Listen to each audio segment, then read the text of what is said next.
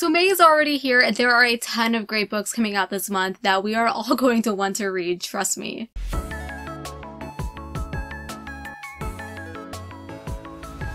Hi everyone, my name is Holly and welcome back to your monthly dose of new book releases. I have 15 books here on my list, all coming out in May. So let's just start things off on May 4th as there are five very exciting releases. First one is The Shadow of the Gods. Now if you want my full non-spoiler review where I lay out all of my thoughts, pros and cons, I did a whole video on this. I highly recommend checking it out, but for a quick summary, this is the first book to a new fantasy saga by John Gwynne, who is most known for the Faithful and the Fallen series. And here, though we have a smaller world that that shines positively with a condensed storyline. This is set in the world of Vikings. That's right, you have it all. If you are a Viking or a Norse enthusiast, this will definitely be your jam. It's set in the world of Vigrid, which is basically just a giant graveyard for the fallen gods who went to battle each other in the past and are now dead, as apparent with their giant corpses literally being used as homes. It is a grim, brutal, intense epic fantasy, and I cannot wait for you guys to read it. The Dragon of Jin-Sayeng I hope I am somewhat close to pronouncing that correctly.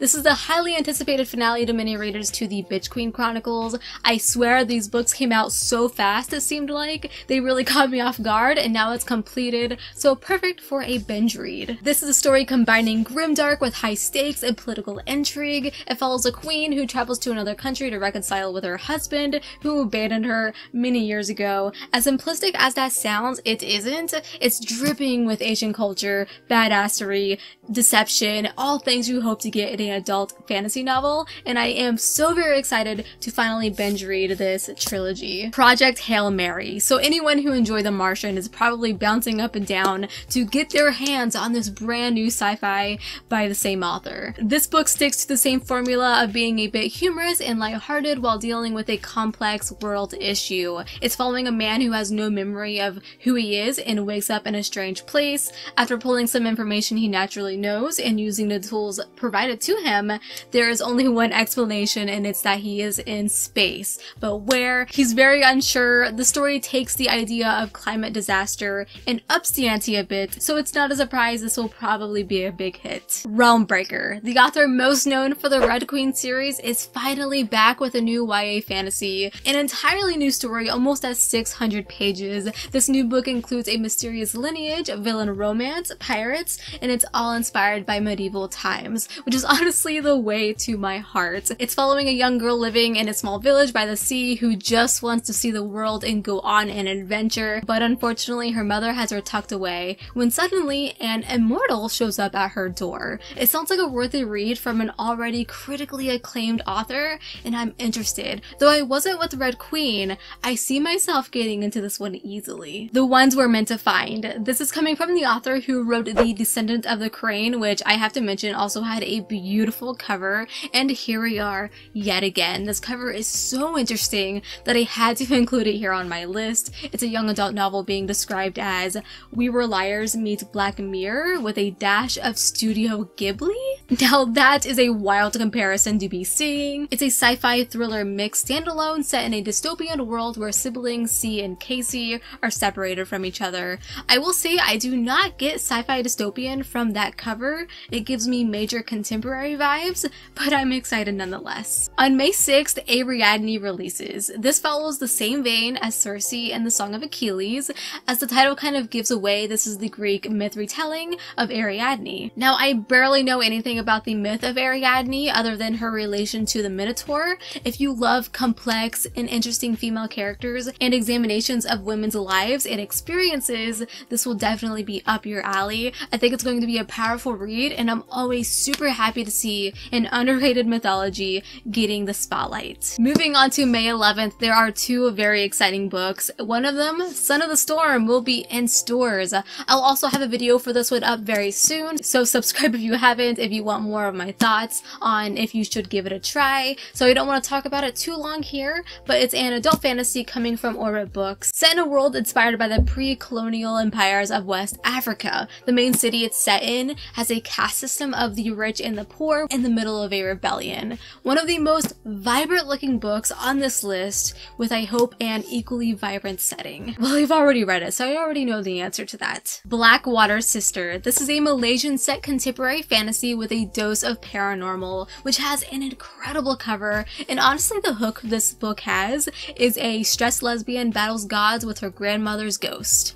Like you can't get any cooler than that, honestly. And overall, it has a really cool aesthetic. Even though contemporary can have me running in the opposite direction, I've always been a big fan of the subgenre of paranormal, so seeing all of the Chinese culture combined with it, I'll definitely be giving this one a chance. Also, many of you asked for a Should You Read It episode for this one, so there might be one. Four books releasing on the 18th include Day Zero. This is an apocalyptic adventure story from the author who wrote Sea of Rust. Honestly, one of the biggest hits for me when eyeing this book is the mention of a robotic tiger. Mike Tyson would honestly be excited.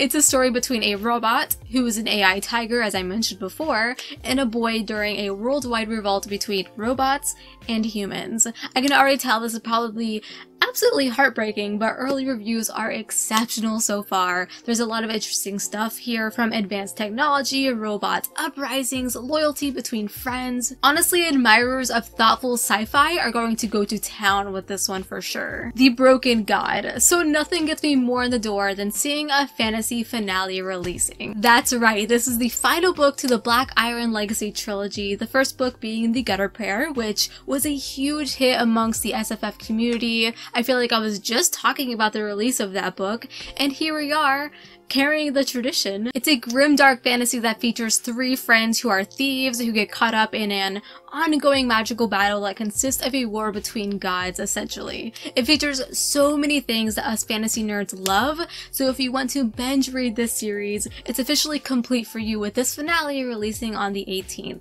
In The Ravenous Dark. This is a dark YA fantasy standalone, and the hook for this one is that it's following a pansexual blood mage who teams up with an undead spirit to start a rebellion among the living and the dead.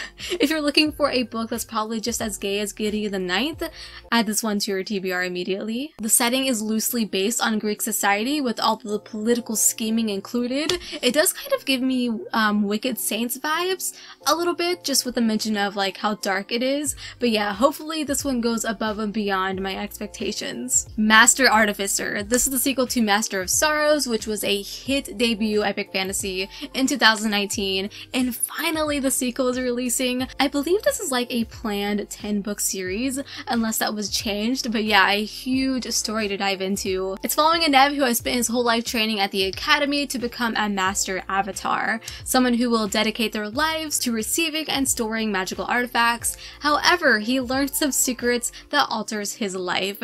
This book series has a lot going on for it overall, and the cover to this one matches greatly to its predecessor, which is all that matters. And finally on the 25th, the Black Tongue Thief comes out. So on the back of this book, there's a quote from Robin Hobb that says, dazzling. And honestly, I'm sold. I'll actually be reading this one in May, and we'll be doing a Should You Read It episode for it, as many of you have asked, so be on the lookout for that closer to its release date. It's following a debt-ridden thief with his blind kitten. I've seen some reviewers compare this to Kings of the Wyld, which is one of my all-time favorite books, so I expect a lot of humor, a bit of lightheartedness mixed with a lot of different creatures, which is going to be a lot of fun because this author's previous works are in the genre of horror. So I'm wondering if the lightheartedness is also mixed with a lot of darkness, so I'm super excited to see that. Up next, Hard Reboot releases on the same day. So are you a Transformers fan?